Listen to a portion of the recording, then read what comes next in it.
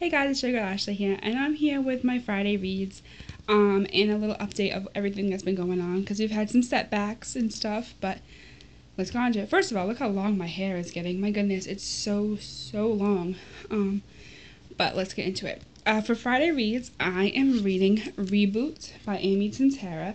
Um, I was reading The Fury by Alexander Gordon Smith, and I really didn't know what else. I couldn't really get into the book, I guess. I got it to like 30, 30 pages or so.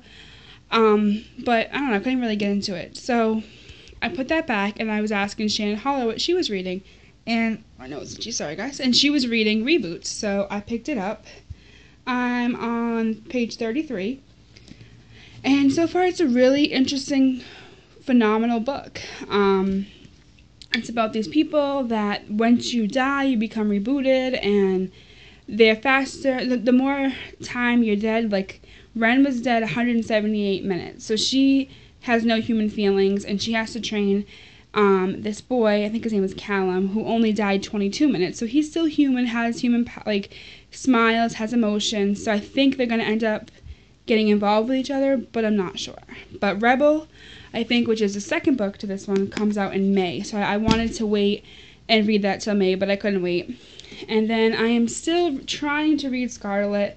Um, I'm still on page like 25. I want to finish this because Scarlet is out, and not Scarlet, Cress is out, and I really do want to read that book.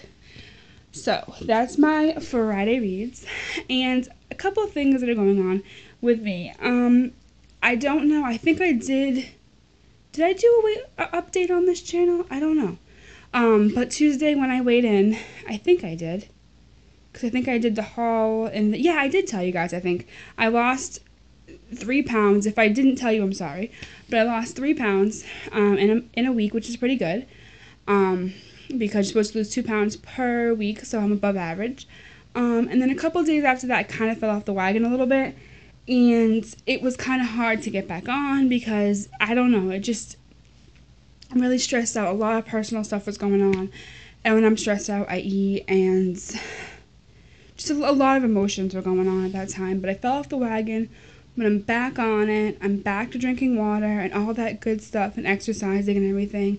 I just kind of wanted to come on here and be like, hey guys, I messed up. But if any of you guys are doing the same thing I'm doing and you do fall off the wagon, don't give up. You know, just take one day at a time. Yes, you may have mess you may have messed up one day, but that's just one day. That's not a whole month, that's not a whole week. Just make it one day and then go back to doing what you were doing. So that's what I'm doing. And I'm not proud to say, hey, you know, I'm Ashley and I fell off the wagon, but stuff happens. Things happen, life happens. It's a reality that sometimes you just fall off and you need to get back up. So that's what I'm doing. Um, a lot more stuff's going to be coming to my channel, more updates about me personally, what's going on in my life, a lot of goals I want to accomplish, a lot of things that are that I want to talk to you guys about that I've never really talked about on this channel. Um, and a couple of book reviews. I mean, I haven't been reading as much, but I want to start doing that because I'm supposed to be doing a review every Sunday, which I've been slacking. I'm sorry, but I will definitely get that under wraps. Um, and that's pretty much about it.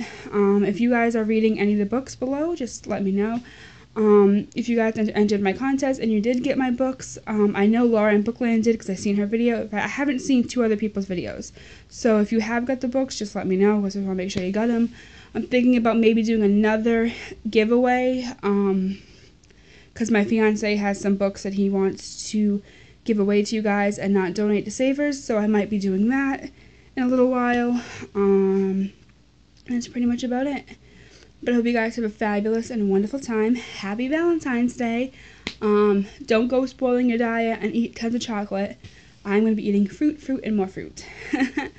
um, but have a wonderful Valentine's Day, guys. I love you. Keep strong. You know, if you have any qu- questions, comments, please leave them down below. I'd love to hear from you guys. And have a wonderful, wonderful day and a Valentine's Day. Keep calm, read on. Bye, guys.